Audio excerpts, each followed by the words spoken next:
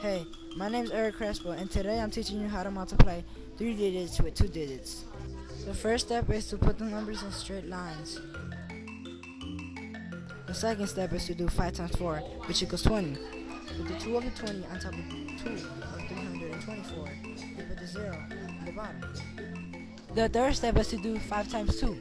It equals 10. Add the 2 that is on top of the other 2, which equals 12.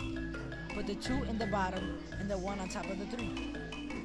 The fourth step is to do 5 times 3, which equals 15. Add the 1, which is a 16. Put the 1 and 6 by the 20.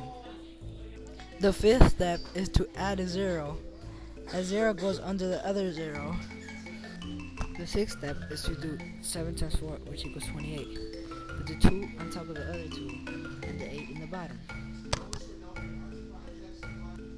Finishing the multiplication. Do 7 times 2, which equals 14. Add the 2 that was on top of the other 2, which equals 16. Put the 6 on the bottom and the 1 on top. Then do 7 times 3, which equals 21. Then add the 1 on top of the 3, which equals 22.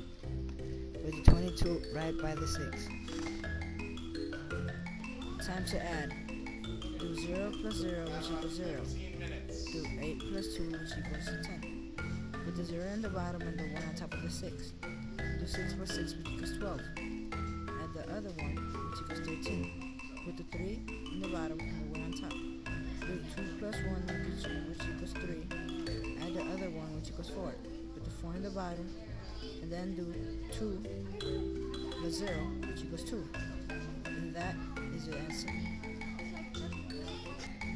Final answer should be 24,300. If it's not, you did something wrong. Look over it. In review, the most important things are create the zero, carry, and make sure to add right.